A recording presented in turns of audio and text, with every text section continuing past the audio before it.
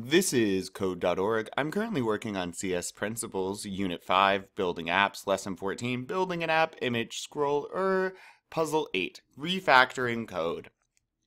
On the last level, we copied a few lines of code to a different part of the program. Hopefully, warning bells went off into your head. Anytime you are copying portions of code from one area to another, it's a good indication that you should write a function. Yes, yes, yes, yes to capture that behavior in one place, right? It's prime candidate, it's uh, abstraction, and we want to uh, have abstraction.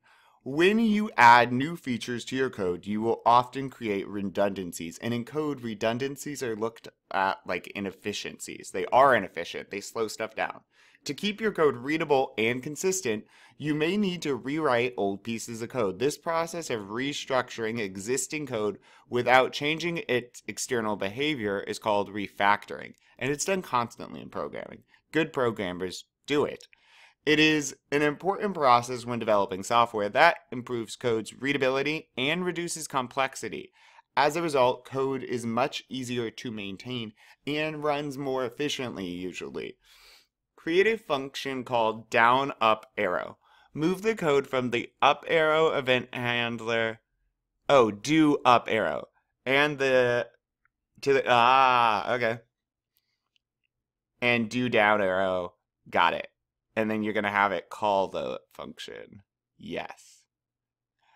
Excellent. All right, let's do that then. So, function Oop, not inside my event, above, other function, okay? And then I'm gonna want a function calls a lot of those, but one sec.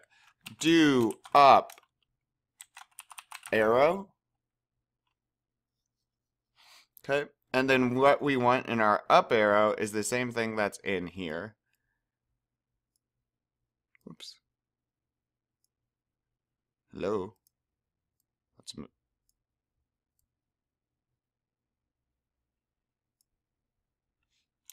I'm going to control Z that, which is undo. Ah, control Z, which is undo. I'm going to go to text and I'm going to right click cut and I'm going to right click and paste it, the code. Ta-da! And then I'm going to make this do down arrow. And then I'm going to get all of this code and I'm going to right click and say cut right click and say paste. Okay. Uh, in traditional programming, you would want your functions at the top because they need to be created before you call them. However, JavaScript's more versatile, so I'm going to put mine towards the bottom. Okay. And then inside of this, we do function calls. So I can do blocks for that. I think it's a bit more readable. Um, but here's what I have thus far. Oh, that's annoying. Okay right? So I just moved the code into do up arrow, do down arrow. And now, remember, functions don't run automatically. You have to ask the computer to run them. And the way you ask is nicely. Well, it's by using the function name. So up image is going to be do up arrow.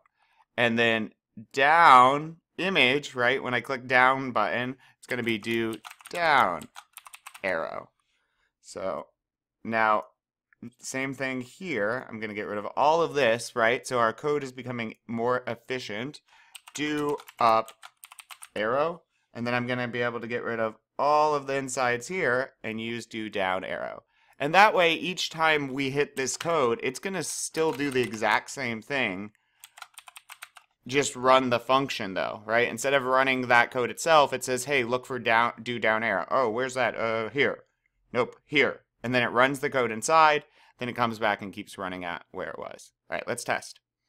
Up, up, up, down. Now I'm going to hit the keyboard up, up, up, down, and double check. Victory! Awesome. So copying those and then getting the function calls, um, yeah, it improves their code.